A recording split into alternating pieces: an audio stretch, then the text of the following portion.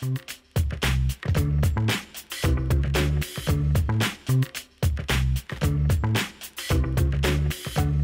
naar een voor mij bekend adres, want ik ben daar in het vroege voorjaar ook geweest. eh, waar een aantal dieren worden gehouden door een oudere man. En die omheining van dat adres is niet helemaal goed. Dus die dieren breken nog wel eens uit. En we hebben een bericht gekregen van de dierenpolitie dat er deze week ook weer wat geiten op de provinciale weg liepen. Eergisteren was er een ezel eh, weggelopen. Ja, dat kan natuurlijk nooit de bedoeling zijn. Dus dan gaan we even kijken hoe zijn dieren erbij staan. En eh, dan gaan we hem er even bij halen. En dan zal hij toch wat aan die omheining moeten doen. Want ja, het is natuurlijk heel gevaarlijk als die geit oversteekt. A voor die geit. Maar je zal er maar rijden en je krijgt zo'n geit voor je auto. Ja, dan eh, heb je zelf ook een aanrijding. En dat moeten we natuurlijk voorkomen.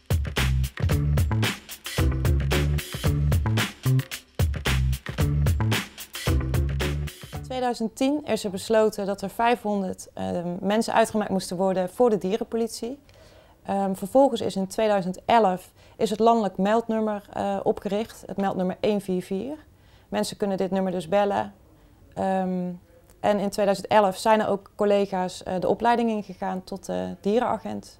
In het eh, district de Baronie zijn er zes mensen uitgemaakt voor de dierenpolitie. Via het meldpunt 144 komen er heel erg veel meldingen binnen.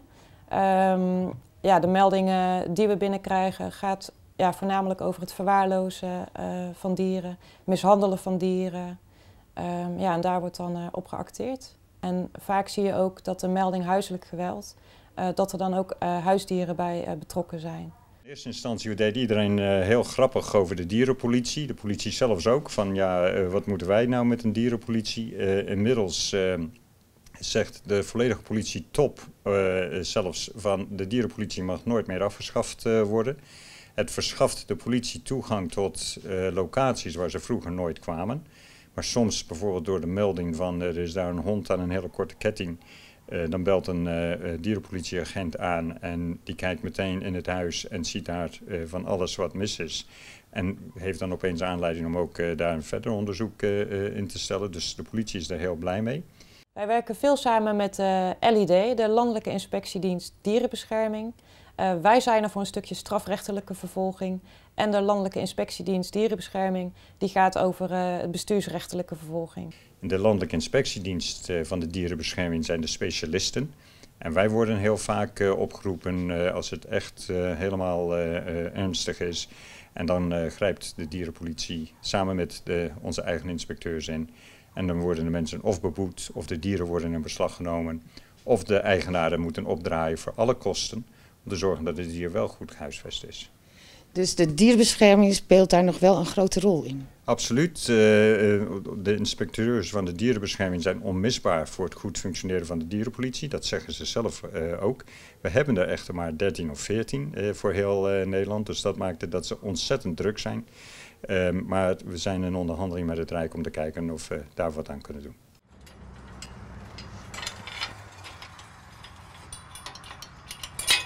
De inspecteur komt in eerste instantie dus om te kijken hoe het is gesteld met de omheining. Maar hij gebruikt zijn bezoek meteen ook om het welzijn van de dieren te beoordelen. Dan blijkt dat er nog een aantal dingen verbeterd moeten worden. De geiten die staan buiten aan de stik zonder water. Er stond een varken in een stal. Ja, dat zag er eigenlijk ook niet uit, ook zonder water. Nee, je kan niet drinken als je dorst hebt. Ja, dat is jammer. Je hebt ook niet, niet echt veel te eten. Er lopen ook een paar kippen. De huisvesting is wel in orde. Ze kunnen overal heen. Ze hebben een stok om te zitten. Maar je moet natuurlijk wel even kijken of die dieren wel genoeg te eten krijgen. Of, wel, of de conditie goed is. Nou, bij kippen kan je dat vaak niet op het oog zien. Wel als ze ziek zijn. Maar qua conditie moet je dat altijd even voelen. Dat voel je aan het borstbeen. Ja, een beetje mager, eh, vriend. En er is meer. Eduard ontdekt een diepvrieskist met bijzondere inhoud. Ik dacht eerst dat de kippen in de vrieskist lagen, maar die leefden dan gelukkig nog. Maar het brood wat erin lag was beschimmeld. Ja, dat ga je niet aan je dieren voeren. Sowieso is brood niet echt het beste voer voor dieren. Kijk joh, ziet er toch niet uit. Dus er zijn nogal wat tekortkomingen.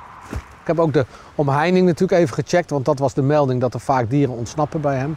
Begin dit jaar was een van zijn varkens ontsnapt. En die was in een, eh, in een bungalow waar ik eh, de gazonnetjes aan het maaien, zeg maar. Maar daar was een hoop schade ontstaan, 26.000 euro. En nu waren er weer meldingen binnengekomen van dieren van hem die uit zijn weiland eh, eh, konden komen. En er was ook een ezel ontsnapt. En dan is het natuurlijk de bedoeling dat ik het verhaal van de eigenaar erbij krijg. Dus we hebben deze eigenaar gebeld. Goeiedag, met Eduard. Ik ben van de Landelijke Inspectiedienst Dierenbescherming en wij hebben elkaar in het verleden al een keer gesproken. Ja, dat kan ik me wel herinneren. Ja, nou, ik sta nu weer even bij je dieren. Want er is natuurlijk eergisteren ook nog het een en ander gebeurd. En het zou mooi zijn als je even hierheen kan komen. Dan kunnen we het er even over hebben. Ik kom wel aan. Dat is goed, dan wacht ik even hier en dan zie ik je vanzelf verschijnen. Goed. Hartstikke goed. Eh, we komen ook wel eens bij mensen thuis en dan zien we dus dat de dieren verwaarloosd worden. Ehm, die mensen die doen dat niet altijd ehm, ja, uit een slechte wil. Ehm, wij zeggen dan tegen deze mensen dat ze de situatie voor het dier moeten verbeteren. Eh, daar geven ze dan een bepaalde tijd voor, een week, twee weken. En dan na die tijd komen wij terug en dan eh, gaan we kijken of de situatie voor het dier verbeterd is. Het is een aardige man. Hij bedoelt het hartstikke goed voor zijn dieren.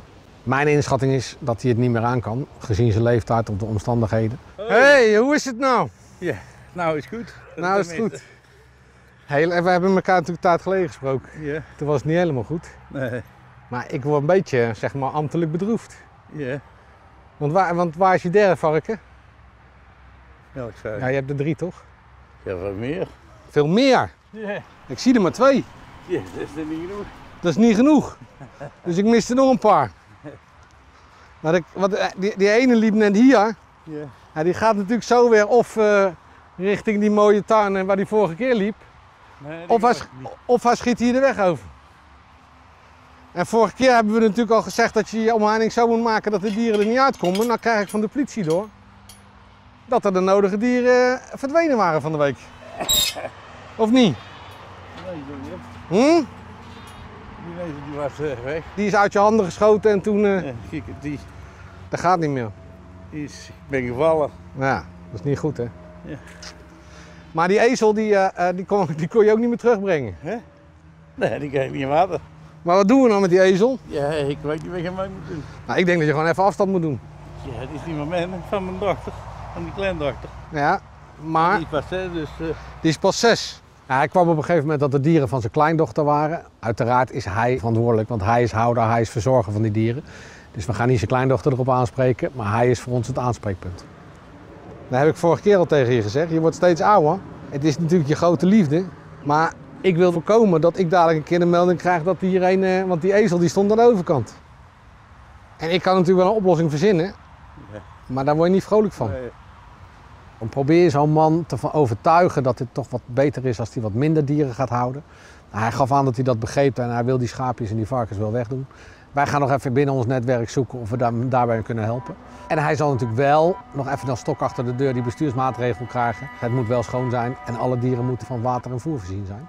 Want dat blijft natuurlijk de algemene richtlijn. Als hij er iets minder heeft, zal die verzorging ook omhoog gaan, want dan kan hij zijn energie daarin steken.